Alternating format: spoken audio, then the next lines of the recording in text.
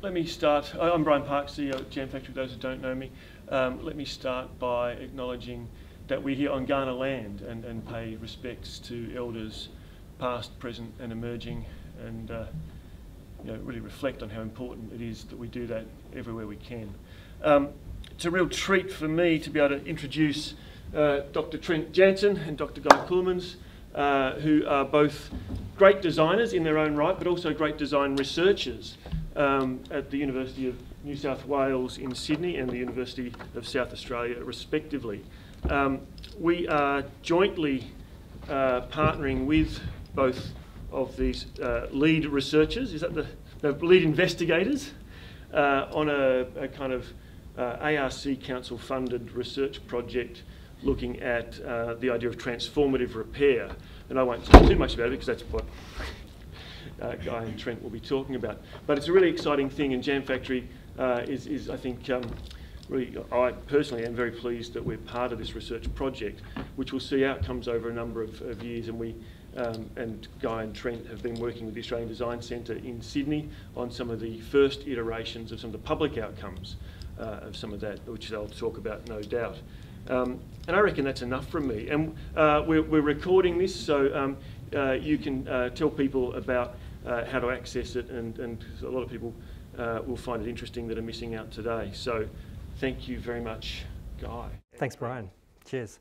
Um, yeah, great, great introduction, Brian. Thank you. Um, uh, I guess before we begin, I'd also like to acknowledge um, that I'm speaking from the lands of the Kaurna people, and, and Trent is speaking from the lands of the Darawal of the uh, Illawarra and southern Sydney. But actually, um, it's worth noting that we did this project uh, across a whole bunch of different lands um, belonging to First Nations cultures all around the world. Um, and uh, that includes like, um, you know, First Nations from uh, Texas and California um, and also Western Australia. And actually at the end of the video that we're going to play later today, you'll, you'll see an acknowledgement of those peoples. Um, and yeah, as Brian said, um, this research has been funded by the Australian Research Council. Um, we're really pleased to receive this grant. Couldn't have done it without Brian's help and um, his team here at Jam Factory, and great to see so many familiar faces in the audience. Um, and also, of course, um, the Australian Design Centre. And, and the work that we're presenting today is the first phase of the research, uh, which was conducted primarily with the Australian Design Centre. Um, and maybe at the end of the uh, presentation today, we'll talk a little bit about um, what we're planning to do at Jam Factory too. Um, but just to begin, um, I want to actually show this work, because actually it's not the first piece of transformative repair practice that I did uh, myself. Um, it was actually done in 2015 um, after I'd already been doing kind of repair and reuse in my own personal practice for, you know, eight, 10 years maybe something. But, um, but I did this one at Jam Factory. So I was here uh, in 2015 as resident artist um, and I actually photographed this in that little tiny photo room that's outside the metal studio. Um, and you know, I was, I was, quite happy with that, how that turned out actually using photoluminescent pigments. And of course, you know, the references to kintsugi, um, the traditional Japanese craft of uh, ceramic repair using gold. But I'm just trying to shift it, um, trying to do something different in terms of how we perceive that um, maybe bring it into a new technological age. Um, and it's also true when I go back to earlier works that I did in my career, such as this one, which was called Smash Repair, which involved designing a structure that is iteratively uh, broken and repaired multiple times uh, in order to generate, uh, you know, kind of a new form. Um, and this for me, you know, I, I haven't done much precisely like this since there, but what it did was open my thinking to what repair can be and how repair can work as a transformative method. Um, and that's also true for this work, which I did uh, back in 2007 or 8, um, which is, you know, also kind of visually communicates the idea that repair can be reuse um, or, and transformation as well. Um, it's, it was kind of broken, that chair, um, but in the process of thinking about fixing it, you know, I chopped it up and actually made it into two chairs. And I, I really like that open-ended approach to repair, um, where it starts to blur boundaries into, you know, reuse, remanufacturing, and, and, and more. Um, and then I'm going to pass it over to Trent to talk about his work uh, and how important they are on the uh, formative influences of this project. Good afternoon, everybody. I hope that you can hear me and perhaps see a little tiny version of me. Um, I'm, I'm, coming to you from Dharawal country on the south coast of New South Wales and want to acknowledge elders past, present, and emerging of this country. It's, it's a beautiful part of the world, and I feel very, very happy to be here. Um, I'm not here. I'm not there with you today because I thought it would be fairly hypocritical to uh, to fly in to give a talk that was largely focused on sustainability. That didn't sit, sit with me very well. So I'm, I'm there with you virtually. Um, so if Guy's the kind of transformative repairer in our team, I'm the transformative reuser, I suppose. We, we possibly both cross over that that little um, line a little bit from time to time. But this was my first experiment with transformative reuse or adaptive reuse from 2004. Actually, my major project as a university student, um, the science school reusing um, discarded road signs to make furniture. Um, I've done a lot of, of um, oh, can we, can we go to the next slide? I was just trying to do it myself and realized I can't. Um, I've done a lot of um, experiments over the years with cultures outside of my own into the way that other cultures do these types of practices. So this is um, a piece called Jugaad with car parts. Jugaad is like make do, but but the Hindi word for for make do. Um, it's it's about we, we basically used um, discarded car panels in the Chor Bazaar in Mumbai and worked with some fabricators that usually do air conditioning ducting to, to generate new forms using those sheets of metal. Um, next slide, please, guy. Uh, and most recently, I've, I've my, my, work is focused a great deal on working with First Nations Australian artists, um, particularly um, over the past few years, artists from the Kimberley region. So um, Nyikina, Wangkajunga, Walmajarri artists from around the Kimberley region, uh, around Fitzroy Crossing. And this is a work that I designed in collaboration with Johnny Nargoodah and, and Rita, Minga, Rita Minga, two artists from, from that community. And it's sort of an unusual one to include in a conversation about adaptive reuse, but the adaptive reuse here is the hair. This is human hair that was collected from a local barber and, and then um, using this amazing um, traditional technique of spinning hair um, using a spindle on the artist's leg. It was turned into these long strands of sort of rope from human hair.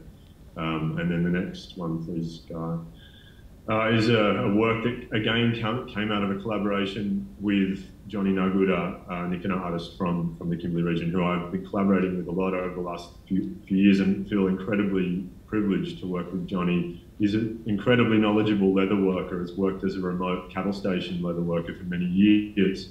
And um, we play around with, with found metal, and uh, you, see, you, can see the substrate in there is, a, is some found aluminium from a scrapyard. Um, so that's an introduction to, to, the kind of work that I had done prior to this project and what makes me relevant to it, I suppose.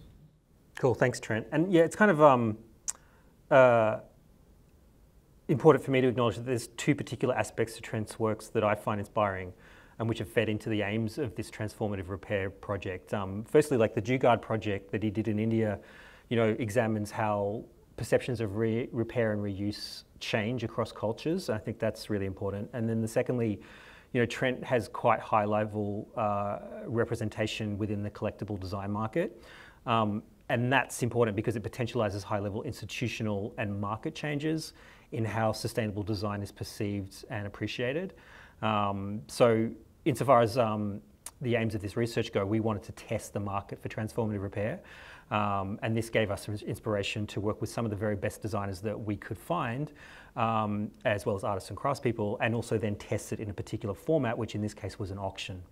Um, and uh, we'll get onto that in a moment. Um, but firstly, I just wanted to uh, introduce some of the artists that we're working with um, trying to get a kind of a, a, a mix of um, men and women, I guess, um, but also, yeah, designers, artists, craftspeople. Um, we have jewelers like Kyoko Hashimoto, uh, my partner, uh, craftspeople like Liz Williamson in textiles, um, and Tala Carson, who worked with Liz, um, and Adam Goodrum, you know, very well known product designer. and uh, Trent, do you want to introduce the, the rest? Yeah, I think um, Dave Caon is someone that we spoke about working with very early because he's, um, I suppose, I hope this one wouldn't offend him, but quite a traditional industrial designer, does interiors and, and objects for Qantas, one of his major clients. And we were really interested to see how his approach might um, manifest in this type of um, in this type of practice. And then there's Lucy McRae, um, very well known now Australian-born artist who lives in Los Angeles, uh, who's who um, I I've known for a number of years, and we're very lucky was interested to work on the project with us. Um, Iliam Nargoodah, who is Johnny Nargoodah, who I collaborate with regularly, son um, from the Kimberley region of West Australia, is an incredible knife maker. Um, and you'll understand when we show you some of the broken objects why we thought Iliam might be a really great fit for one of those for one of those objects. Um, have we, have we covered everybody? Uh, well, just briefly, um, there's also Ebony Satchwell, who uh, we, is actually a digital artist, which might seem a little bit strange, but we'll explain why she was brought into the project to assist uh, Kyoko. Um, and then there's also Lucy McRae, um, you know, who's kind of on the periphery of design. She calls, calls, herself a body architect and has notable works in fashion, sculpture, installation, and, and generally speculative design. Um, but that was a real catch. Um, and uh, they're all Australian, although you know Lucy actually has spent most of her time overseas, and Ebony now works overseas, and, and that caused some logistical issues, but quite solvable. Um, the one thing I just want to say before I change to the next slide too is that all, because these designers all have their, and artists and craftspeople all have their own disciplinary skill sets and conventions um, that don't necessarily accommodate repair or reuse practice. Um, that's something we're really uh, conscious of, and in fact, we kind of try and challenge a bit. We try and maybe even provoke them a little bit with the kind of objects we provide them. And actually, if, if you weren't familiar with the work that I've done in the past, um, uh, with and without Trent, um, it, it is often simply a case of like, well, you, let's get some broken objects, let's collect them and then distribute them to creative practitioners. Uh, that's what I did with uh, object therapy from 2016, but also um, a previous iteration of transformative repair, which I did with regional uh, institutions in uh, Noosa and Launceston, Tasmania. Uh, and this is the kind of uh, works that we collected. So these are beautiful, uh, sort of mid 20th century. They're called planner spider pairs, chairs. Sorry, planner spider chairs, made by French company Hoffa, um, and uh, have had you know literally 50, 60 years of, of life. Um, these were provided by the Sydney gallerist Sally Dan Cuthbert. Um, that's a, just a picture of me sweaty carrying them like around. Um, yeah, we, we worked with Hugo Gruzman, who is one half of the band Flight Facilities, um, someone I'd wanted to work with for a long time in some capacity. Um, and he named his band you know, after his interest in aerospace. Um, and he had model aeroplanes to provide to the project. Um, the second one is particularly noticeable because it's a model aeroplane that replicates the um, aeroplane of his grandfather, whose company was called Flight Facilities and was the direct influence of the name of his band. Um, we have this scooter uh, that was gifted to us by the actress Yael uh, Stone, who's perhaps best well known for her role in uh, Orange is the New Black. Um, and that had a really beautiful you know, story to it that related to her time growing up and a sense of freedom as a young woman riding around Sydney. Um, yeah, I mean, Trent, do you want to talk about this one? Yeah, sure. So I, I guess I, sh I, should begin also by framing how we how we um, contacted these people. We were sort of interested in working with uh, creative practitioners who, who might have an interest in the creative elements of the project, but also a bunch of these individuals who donated the work are climate change activists. You know, so that the sustainability aspects of the project really spoke to them. Um, this is a lamp by the Campana brothers, um, the very famous Brazilian design duo, but donated to the project by the Tuscan um, manufacturer Edra. And uh, they were very um, generous to give us this thing that, that had been marked during, during transport uh, in some way that we're not totally clear on, you know, pulled out of the pack, package too vigorously or something. Um, had had minimal damage, but to the point where they couldn't sell it on, so, so they were happy to give it to give it to the project. Um, the next image is an axe that was donated by um, scientist, explorer, and conservationist Tim Flannery. Um, he, he, lives in a suburb not far from me and, and um, has been involved in a climate change activist, activism group that I'm part of locally. And, and asked him if he might have anything broken that, that he that he could give to the project, and this is what he gave us, which was like so interesting uh, as a symbol of, of um, you know, forestation that uh, we thought it was such a beautiful um, object to include. Uh, and then the next slide, the next couple of slides are images of clothing donated by Bianca Spender, um, fashion designer from Sydney, long-term friend, and and someone who's very interested in the sustain- sustainability of, of her fashion practice. Um, they have these these pieces of clothing that that have small defects that go into a room in her in her headquarters and um, just kind of stockpile in there because they're not terribly sure what to do with them. Uh, so she was very happy to give us basically as many, you know, um, imperfect pieces of clothing as we could as we could take, and we we selected a bunch based on Lucy's Lucy McRae's um, preferences for thick uh, textiles, and we boxed them all up and shipped them to LA so that she could transform them. So um, the, the, the task then was, yeah, as Trent just described, was to distribute them to the artists, designers, and craftspeople that we'd gathered. Um, and that wasn't always easy, but it, there was a kind of a sort of intuitive um, um, approach to it, um, a lot of discussion and so on. And it's kind of, that's, that's what, as part of the, as far as the methods go, that's one of the hardest things to actually describe, but um, we figured it out.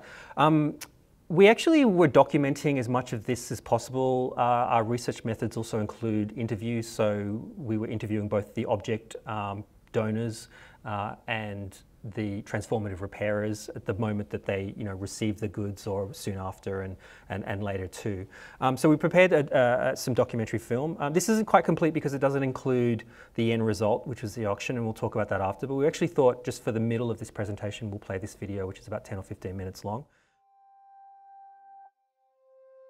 So fundamentally, I think transformative repair and reuse is about the transformation of objects and materials, but in particular, the transformation of objects and materials that would otherwise become waste.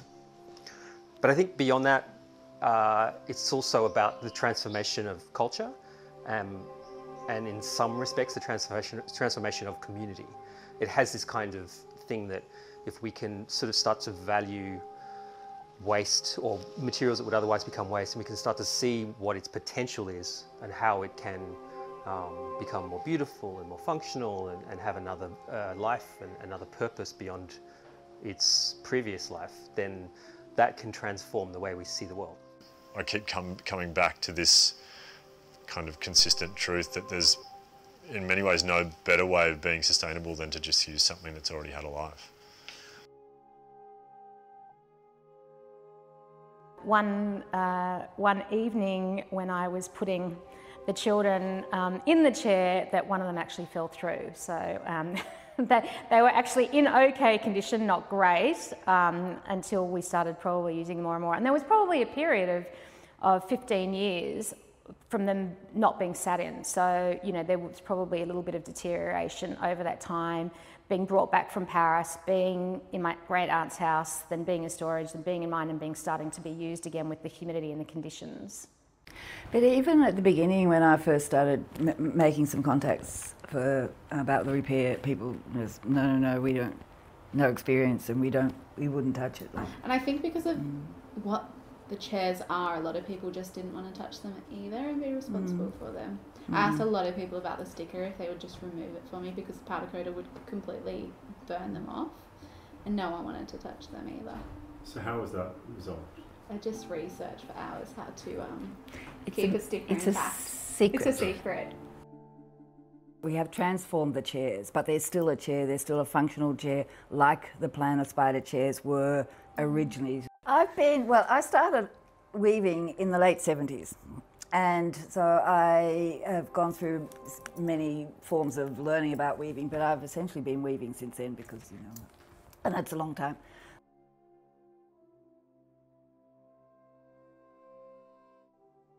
I just wanted to get a little bit of background um, about these objects from you um, before you know I start the repair process. I think that would really help with my process. Well, um, the uh, the Qantas one initially that was actually belonged to my brother James, and he um, mm-hmm. I think Dad got it for him. It was sort of one of those things that we all we both sort of, funnily enough, had an obsession with planes and cars and boats. I suppose like most boys do. We've had it for must have had it for thirty years now, I think, and it's just sort of dried out and cracked a bit, and you can see that it's kind of fallen apart. But I still love how it looks, and I, I love Mm. the old 747 shape, and there's something that's so classic about it.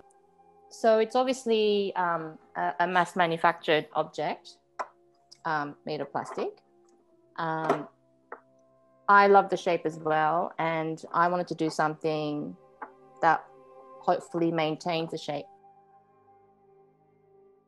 I can either build it back up or break it down, you know what I mean? So I can cut it further into smaller pieces and build from that.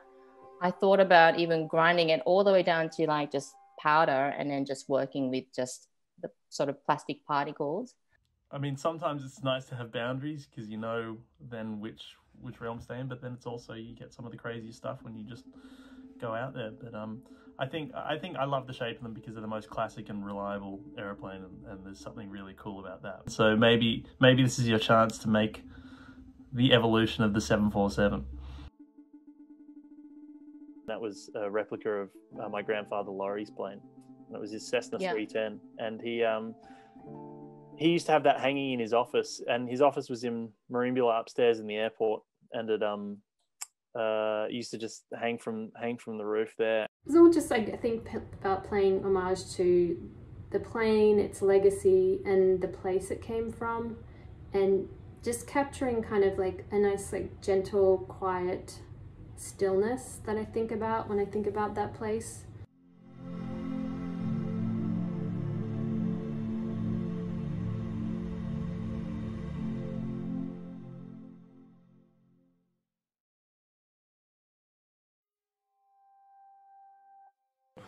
Well, just like I say, obsolescence is in the eyes of the beholder. You know, people take obsolescent objects in South Africa. I've seen people make the most wonderful uh, string bags out of old used plastic bags that are, you know, then they have a, a new life. You know, uh, you see the same thing around the world. People taking things and, and reimagining them. So, um, and I think it's, I think it's great. It's just we're, we're held back by our conventional understanding about what things are quite often. Oh yes, um, well back then when I started making artworks, artifacts, I always lived by this little little code I always got. If I can't buy it, you know, might as well make it, you know. And if I can't get the materials I need, you know, like well material you know costs money, you know, like plank of wood and iron costs money, so I started and now there's heaps of metal in the bush and all that. So I started yeah collecting from the bush, all the tough metal, yeah, all of that. Yeah, look, everything wears out, even us. Um, so, you know, breaking down is part of that process of wearing out, I guess. And the world is in constant retransformation, as the fossils that I studied when I was younger uh, told me. You know, what is now land was once sea. What was once a living shell is now a piece of rock. Well, I was thinking um, I was gonna repair it, you know, repair it, make it brand new. But then I was thinking, nah. I was gonna, I was thinking about carving on it, doing a carving. But I think, nah, that's a bit too. Uh, because carving that was done like worldwide, you know, people carving on X. So um, I was looking at it. I, I left that X on the table and I was strong. Look at it, you know. I was thinking, saying, what to do. Then him, then him came to me, or this wooden house, wooden cabin, and then clicked straight away. Or them built houses with this, you know, with this axe. So them chop the tree down, split split the wood into planks. And I'm thinking, oh yeah, that's what I'll do. So I'll build a house on top of it, you know, to show that that axe been built that house or something, you know. So that's what I'm doing. Yeah. So came to me. Yeah. Look, I think it's um, it's amazing. He's um, he's turned the axe into both the object that the axe is made to serve, the house, and the object the axe came from, the trees. Uh, it kind of tells a little story there, really. It's, it's a really nice piece of art, I think. And we should point out that Iliam Nargoodah, the artist who made it, has made a miniature of your axe for you. Oh, really? That's what's in that small box in the front there. I Oh my God. have a look. I would love to. Thank you. oh my goodness. Oh, that's fantastic. Wow, it really is a little. It's proper. It's got a proper steel head on it. That is fantastic. I mean, we had no expectation of this at all. It just showed up in the box. So, the story of the scooter, I should just start there. The story of the scooter is that my mum bought this scooter in secret, and my dad has always ridden motorbikes, and mum not. And Mum just got on this, got a bee bonnet, and she secretly went and did. She organized. She she bought the scooter, and then she said to my dad, like, "Let's go on a date, and I'll meet you. You ride your scooter, and I'll meet you in Circular Quay, and at this specific location." And then he turned up, and there she was on this cute little Vespa. It's very cute, isn't the whole story? It's very romantic. Um, and she was like, "Yeah, I ride a scooter now." So it has a beautiful beginning. In my personal life, yeah, I have sort of often, you know, tried to repair or fix something. I get a, I think there's a certain sense of satisfaction, a certain sense of machismo, even maybe like, daddy fixed it, you know, my kids love. It's gotten to the point that my son thinks I can fix anything. Well, the scooter did actually mechanically start to start to become a challenge, and um, the balance of freedom and mechanical oppression became a little heavier on the mechanical oppression, and I couldn't make it work. You know, as a whole, it's it's still a really functional object. So all all, all that we had to really do in the end was focus on um, rebirthing it. So I, I really did want this.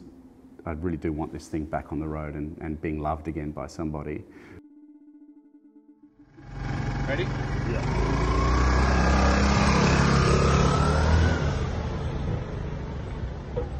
life and I, th- I, I think like stages of life for humans, for animals and objects are really fascinating. Like no one could have predicted this.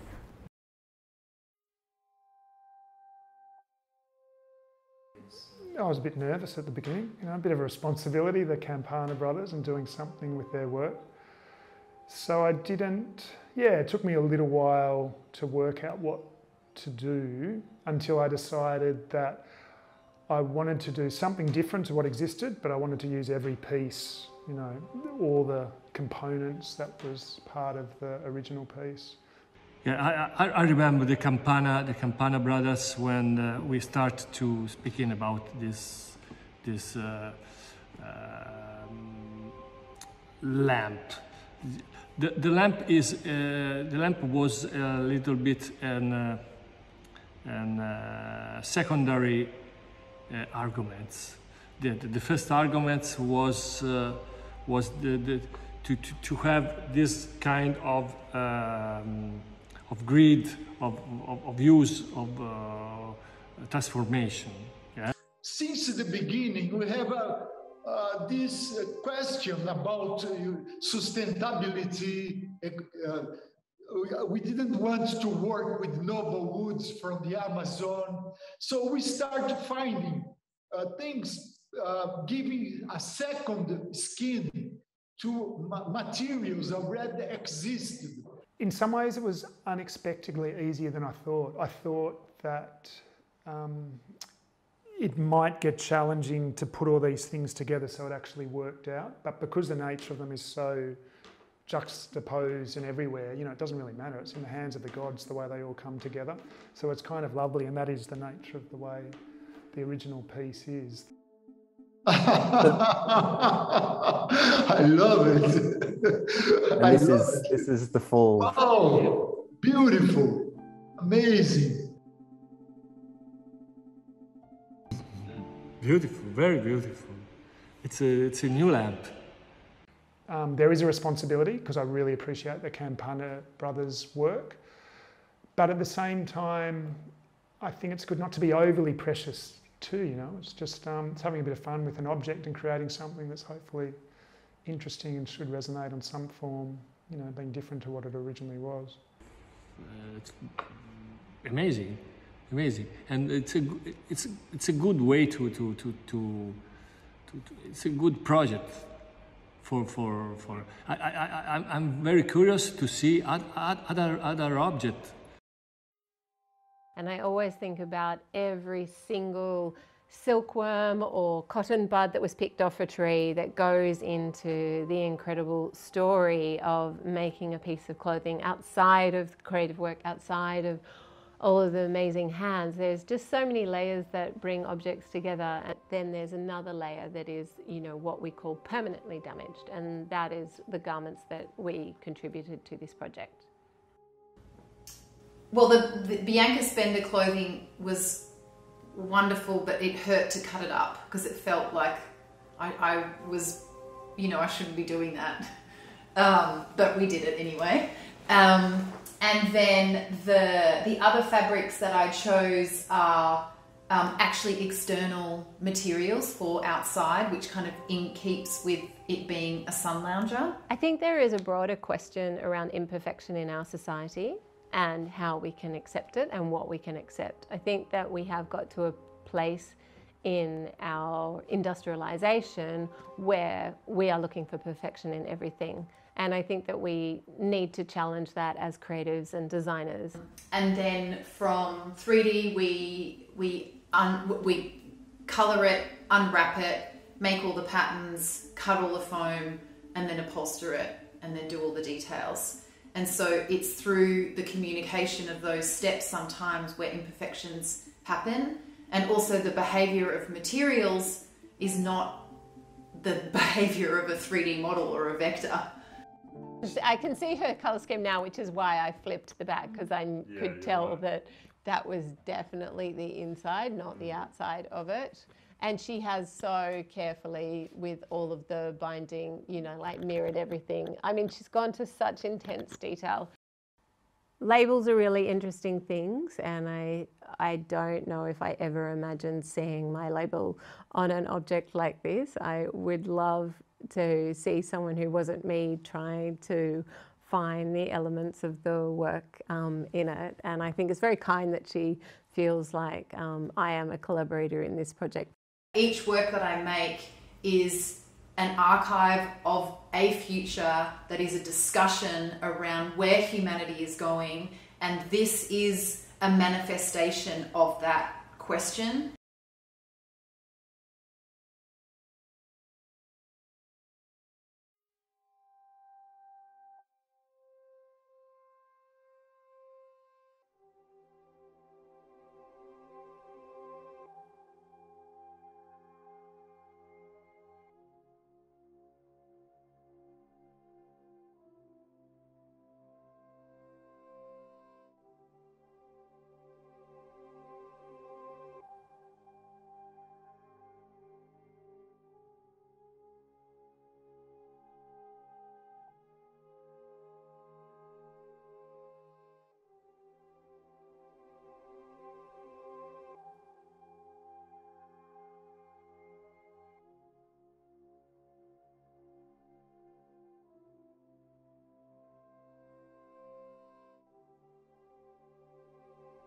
That kind of imperfectly uh, shows off what was done with the objects. But what we can show now is um, some still images so you can get a better sense of appreciation of, uh, of, of how they transformed.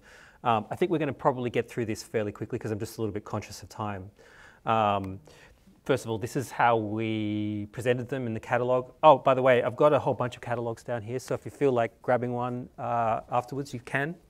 Um, I guess the thing to note there is that we divided them, up, uh, uh, divided them up into lots that were for auction, and the really tricky part there was developing estimates, uh, which we did in collaboration with the auctioneer Andrew Shapiro and consultations with all the creatives, um, but it was tricky.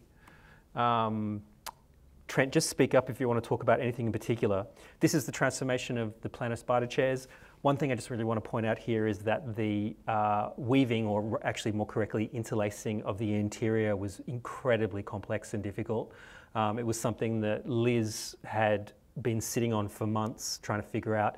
She brought in Tala Carson, who uh, also a really skilled designer, couldn't figure out. And then they actually just, um, contacted an interlacing specialist and had a workshop with her to understand how that, that was designed. Um, really kind of interesting story.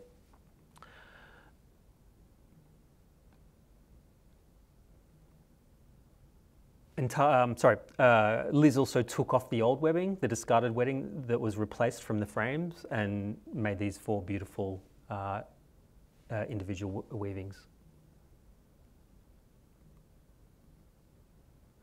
Uh, Kyo Hashimoto's work was the Qantas plane, the, the first work that she did of, of three actually. Um, and this was cut up, cut up into small pieces and turned into a crown, aka the Queen of the Skies, which was the moniker of the original Boeing 747 uh, used by Qantas.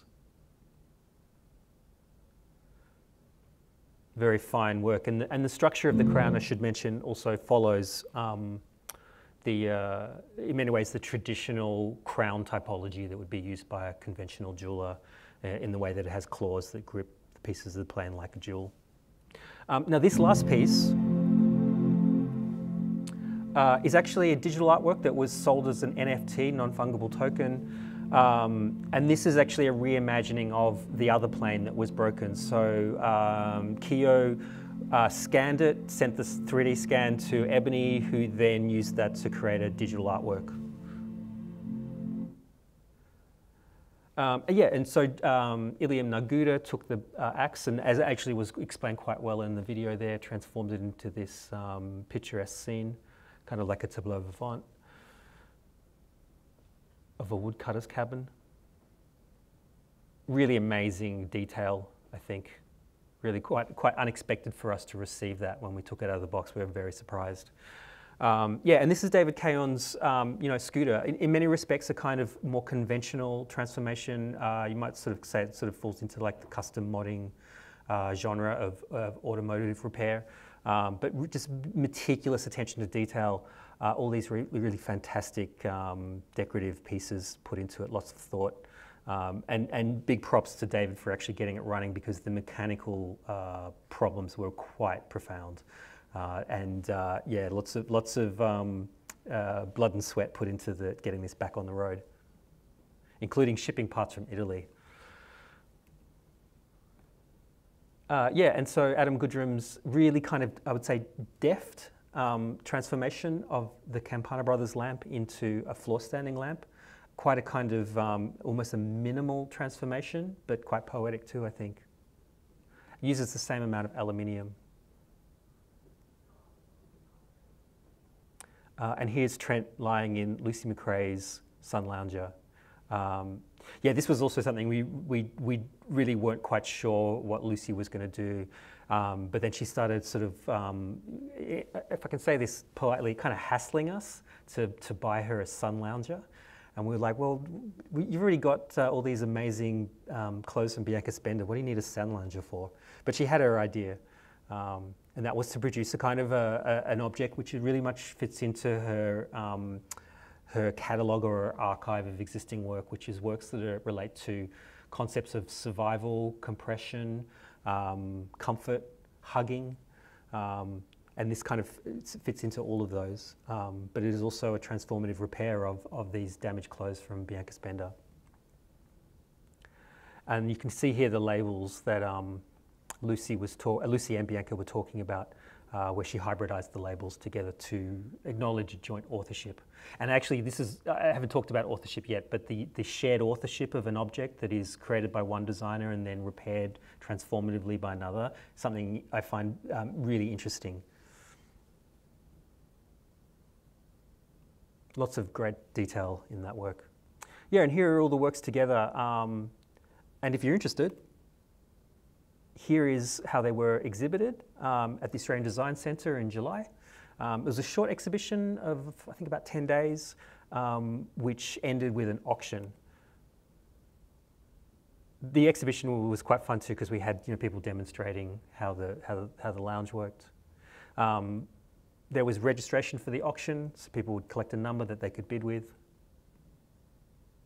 Uh, and this is when the auction began. Uh, Andrew ran the auction as, as, a, as a licensed auctioneer. Trent and I, you know, kind of provided commentary. Uh, this is the point of the night where I was insanely nervous uh, and probably not having much fun. Um, but when I look at the crowd shots, I kind of realised later that, well, maybe everyone except for Lisa was enjoying it. Lisa looks a little bit nervous too. Lisa Cahill, uh, director of Australian Design Centre. Um, you can see Brian up the back there on the right.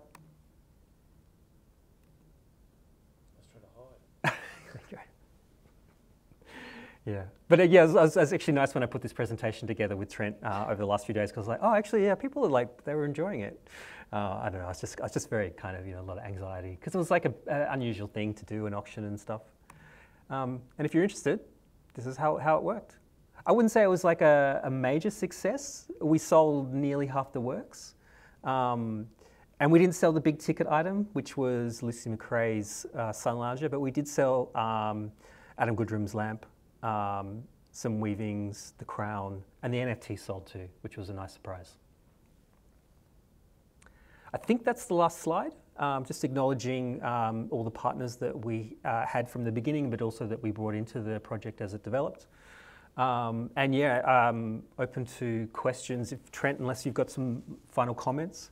I mean, we could perhaps talk a bit about, before we close, on the next phase, right, which we're going to do at JamFactory. Um, so um, follow the same model in the sense that it is a collection of broken objects that we'll distribute to craftspeople, designers, and artists. Um, we want to work with the JamFactory community um, of practitioners. Um, so that's you guys, I think, for, for the most part, um, and uh, your colleagues in the industry. Um, we're also interested in working with um, the benefactors and patrons of JamFactory, their clientele, in terms of where we find these objects one of the things that was kind of tricky to negotiate in this project is that most of the works were gifted to us for transformation so we could repair them and then auction them. But that's not necessarily the model that we're going to follow at JamFactory. Um, we have a feeling, uh, based on what we wrote about in the grant methods, that it will be more of a client um, and service provider arrangement. So the ownership of the objects will likely stay with the owners, um, but the repairer will be paid, paid, a service fee. And this again, you know, is about um, the point of the research, which is to test the market for this kind of work. Uh, so I might have left you out of the, the last bit of that presentation, but did you have any comments? Um, I'm, I'm, I'm, not entirely sure what you've said and what you haven't said because I was on your, your voice with the whole last section and I didn't want to interrupt, but um, I'm sure you did. I'm sure you did it great justice. okay. Well, uh, sorry, Trent. Yeah, that was my fault because I muted myself when the video was playing and then forgot to unmute because I could hear myself on the amplification. Yeah, don't worry. I think I handled everything okay, um, and I explained a bit about what we're planning to do next with JamFactory.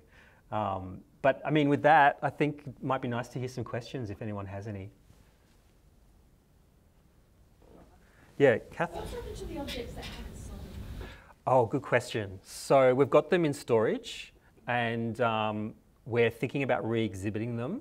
I'm, I'm, not sure I'm going to say where um, yet, but um, there's potential for selling them later. We, we it was, you know, there was a lot of challenges with doing an auction when you're not actually in the business of being an auctioneer, and Andrew was really helpful, but um, I think, to be honest, the reason we didn't sell all of them is we didn't uh, quite get the right mix of people there on the night. Um, although we had some hope that it was going to happen. Um, but you know, COVID made it tricky. It was especially cold night as well, so it's just one of those things, right? But um, but we do think that there is a possibility to um, continue to sell them, and, and, whether that's an auction or not doesn't really matter because it still tests the market. Yeah. Um, when you're looking for people to donate uh, broken objects for the next um, iteration of the project. Are you looking for people who um, have a particular focus on sustainability or environmental um, concern or people who just collect beautiful objects? Like, is there a criteria for the people who donate those objects? Yeah, I mean, all of that can be considered. I mean, I think it's really nice when either the object or the owner has a, has a story. There's something in there that's, that's, that kind of deserves to be told. Um, you know, this, this relates a little, little bit theoretically to how I see objects as four-dimensional objects. They're not just three-dimensional objects in space, you know. They're, they're four-dimensional objects that move through time, and, and there's this visual metaphor of the space-time worm. And, and actually what's really interesting about transformative repair is it dramatically changes the shape of that worm, but it also can fork it and split it. You know, one object can become several. Um, so any kind of backstory that comes with uh, an object is, is helpful. And I think it's helpful also for the repairer because it gives them more content to, to engage with. Great question. I, have got a response, um, but I, I did just want to sh perhaps share um, the question with Trent if you had a, any immediate thoughts on that, Trent couldn't hear the question, sorry. Oh, uh, maybe I'll just repeat it for you quickly, if, if I hopefully I'll paraphrase it correctly. Um, the question pointed out that many in the audience here would agree with the sensibility of the project already, um, the kind of people that actually care about sustainability and also repair things. But what is our strategy for bringing this idea into the broader world and in particular to institutions that uh, maybe even have a vested interest in not adopting sustainable practices like this? Mm, I'd, I'd, be super keen to hear your answer to that one, Guy. Okay.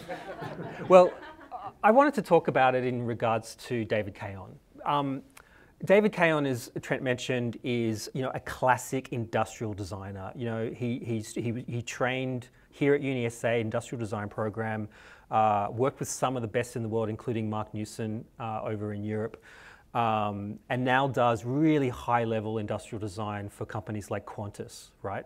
There's no reason Qantas would necessarily want to bring in this kind of uh, concept right into their practice. Right? But by working with someone like David, it actually does potentialize that. And it might be done in a different way. I mean, you know, very possibly, you know, Qantas needs to get in on the circular economy and start figuring out how to make airlines out of more recycled aluminium and other kinds of materials or transforming their planes into other things. And maybe that's already happening in some limited capacity. But by introducing this and getting, and furthermore, I think it's not just talking to someone like David Caon, it's actually getting him to do it and to be immersed in the project, it, it should change his own approach to design. Um, and also, I think that's something that when he's creating objects uh, himself, you know, it can be something that he'll reflect on. Um, so I think, I think, you know, actually, if you're interested, like the, the theoretical framing for the grant application and probably how we'll write about this was transition design um, which is um, it's it's a, it's it's basically looking at how do we transition to you know low energy, low carbon futures, right? Um, and the interesting thing about transition design is it's an applied theory. Like it's it's obviously got concepts that are kind of exist outside practice, but it's always looking to practice and going. You have to engage with practitioners, you have to engage with institutions, and get the, the wheels turning in order for bigger things to happen.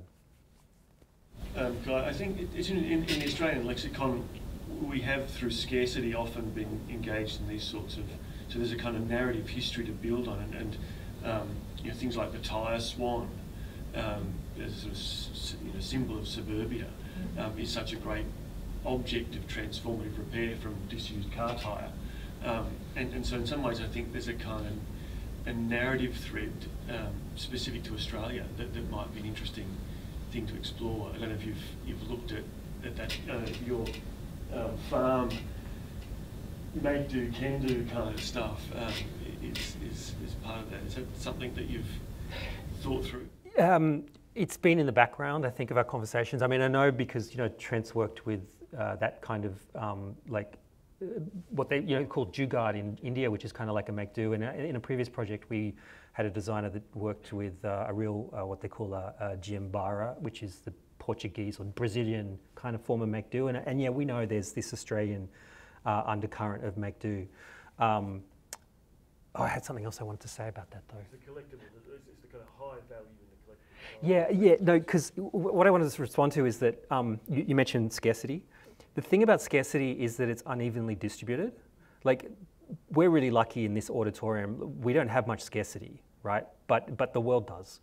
And so I think there's a responsibility of people who exist in cultures of abundance to actually start to move the wheels of material sustainability, uh, material conservation, right? Like this is a conservative approach, right, in the literal sense of the word. Um, and, and, and whether that actually is helpful for um, cultures of scarcity, I don't know. But, but I think it's, there's an obligation for us to actually start to be ethical, you know, right-minded in how we engage with materials. Yeah.